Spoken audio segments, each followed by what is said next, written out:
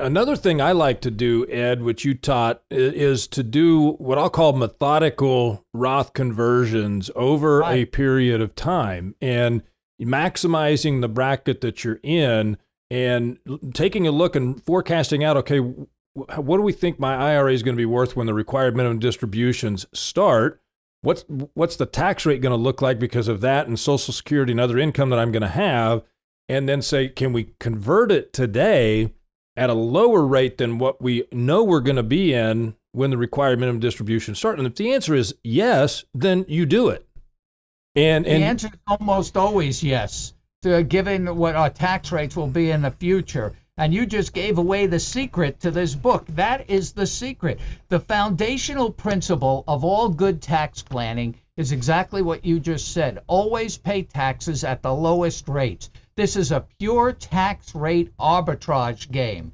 Think of the taxes like a stock buy low and sell high. Uh, it reminds me of that great saying uh, from the old comedian Henny Youngman. He didn't. He just thought this was funny. But he his one line was probably the best ta- tax planning line I ever heard. He said, "I." This he said in the either the 50s or early 60s. He said, "I'm putting all my money in taxes. The only thing sure to go up."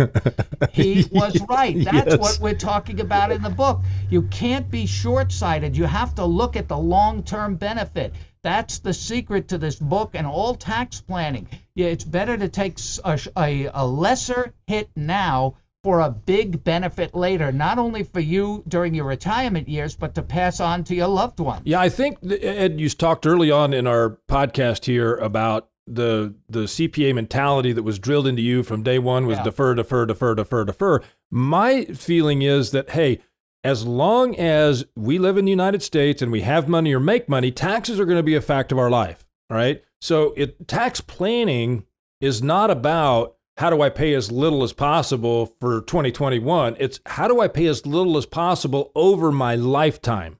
And right. that's where your that's... tax planning comes in. And you have to open your eyes and understand that, look, you're going to, as long as you're alive and, and you have money or make money here in the United States, taxes are going to be a part of your life. So, how do you reduce those taxes over a lifetime, not in a given year? Over a lifetime. That's the key. You can't look at one event and say, you know, I don't want to pay tax now. Look at all I saved by not paying. You know, uh, my dentist, I think a lot of dentists have this sign in their office ignore your teeth and they'll go away. Uh, it's the same thing. Ignore the problem and your IRA will go away. It's very easy to bury your head in the sand. Uh, matter of fact, uh, the, the same comedian, I'm trying to remember the saying, had something. He said, Well, when I read about the evils of drinking, I gave up reading.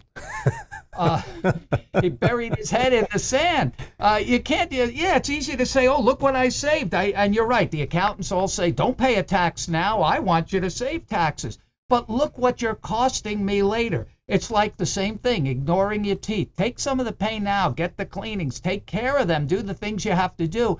Because if you don't, the problem doesn't go away. It gets worse. They're called root canals and implants and they're not only more expensive later, but way more painful. You know, Ed, it reminds me of I had a, I, you know, we've been talking about tax planning uh, for years and years and years, obviously working with you, but on my uh, radio show, America's Wealth Management Show, um, I had a guy come in and talk to me because we were talking about tax planning. There was some things that we had talked about in one of our educational groups that, that you teach. And he he came in and he slid his tax return across the table to me and he said, "I just want to see how you can do better than this." And he had a tax bill of zero.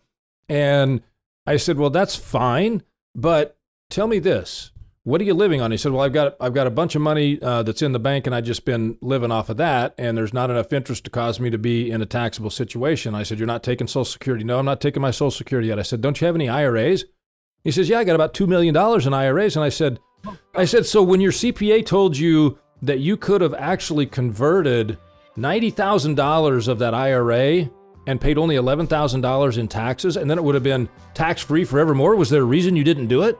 And he's like, "Well, we didn't have that conversation." I said, "Well." What about when he told you that you could have taken at least 25,000 out of that IRA in that year and still paid zero tax because of your personal exemption, standard deductions, etc.? And he goes, well, we never had that conversation either. And I said, well, okay, I can help you a lot. And we're going to, and so what we did was we forecasted what his RMDs were going to start being at 72, and I showed him what the tax rates were going to be and how we could convert a major amount of that IRA over a period of years, then growing tax free and got money out of that IRA. We diffused the time bomb, right? And now this guy is in his 70s and is happy. That's your right, story. Yeah, you know, that's a big point too. People think if they have pay low taxes, they're they're they're missing out on taking advantage of the low brackets. You don't use them, you lose them. You don't get them back the next year because you didn't use them the last year. right, right. You know, you've got to take advantage of those low brackets. You you either use them or lose them.